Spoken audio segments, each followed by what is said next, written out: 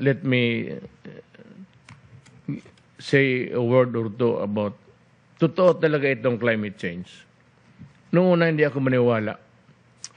But yung of recent memory, yung ano, lahat ng marami akong bagyo na kaya kami noon sa mga taga Davao pag may bagyo dito, nung estudyante pa kami, happy kami kasi nakikita namin kung ano ang bagyo.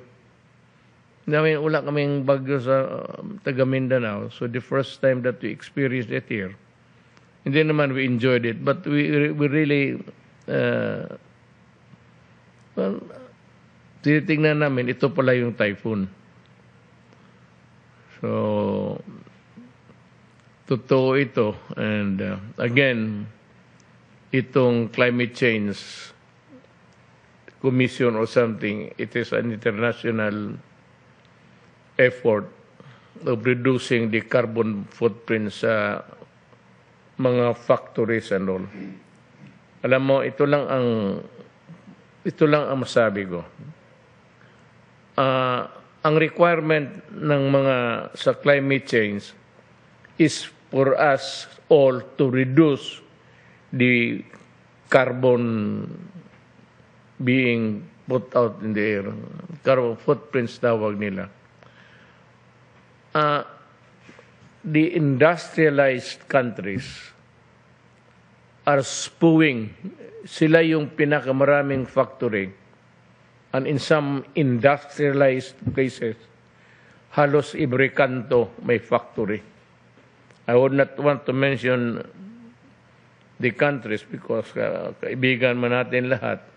But unfortunately, sila yung biggest contributor ng carbon emissions dito sa mundong ito. Ang Pilipinas, sa Davao nga, you can count by the fingers of your hand the number of factories there and the pollution that it's uh, causing to a certain extent. Pero yung ating carbon emissions is just 0.0 something.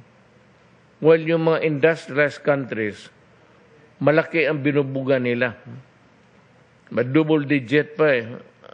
Ang problema, the consequence is being suffered by all. At mang, sa malas nito, sila yung pinaka-biggest uh,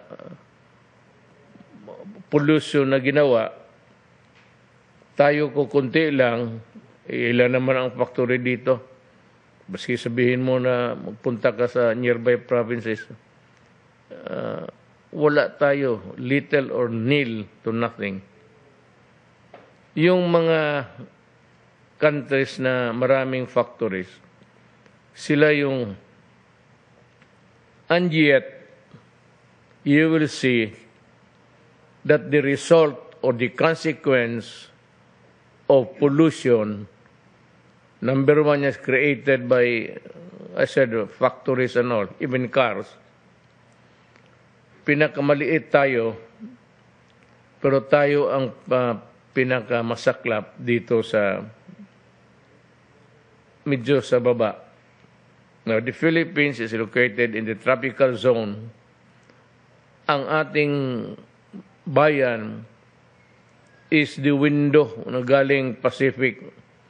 If there is a warming of uh, climate there, with the mixture of uh, the cold and hot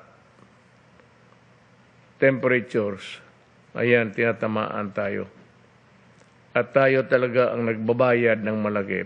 Parang yung yung ano ng mga yung resulta ng mga pollution ng ibang countries, tayo ang sumasalo. Pagdating sa damage, tayo rin ang pinaka kawawa. Simply because we are situated dito nga we're facing the Pacific Ocean at pagpasok niyan tayo ang tayo ang bintana we are the window of uh, the entire Eastern Asia so yan ang bakit tayo magdis dapat ang mga mayaman na hindi tinatamaan ng destruction caused by uh, itong pollution, bayaran nila tayo for the damage. O dapat silang mag-ano talaga na magawa sila ng anong paraan na ma at least equalize yung yung damage natin uh, mas malaki. Tapos maliit ang ating contribution doon sa climate change. Yan ang isang problemang harapin ng Pilipinas with the next generations to come. Unless there is a radical change of the weather uh, patterns, mahirapan tayo dito sa Pilipinas. We average something like 20 typhoons a year. Malaki tapos maliit. But all in all, on the average, uh, malaki yung malaki na yung siguro kung maswerte tayo mga 15, 12. But sabi ng mga weatherman, weathermen, uh, pinakamahina yung 20. Uh, lalo na itong climate change with the advent of climate change. So yan lang ang tandaan natin. And I will be here uh, only for a few days and I will go out.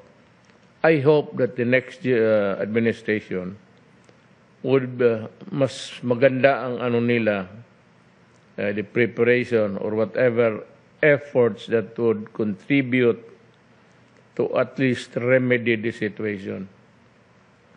Uh, itong climate change uh, convention, ito ang ano sa atin na palagi, tang, palagi tayong nasa huli.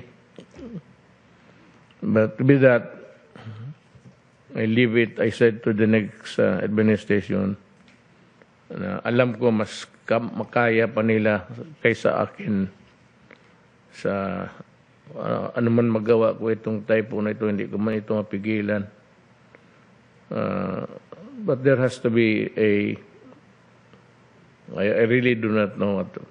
Mine is that yung mga industrialized countries na hindi tinatamaan ng mga typhoons and calamities, pero sila yung pinakamalaki na contributor ng carbon emissions, eh, magbayad sila. Kasi ang tama, grabe ang sa atin. Tapos pareho lang tayong mga, if there's such a word, polluters, mas malaki naman ang ating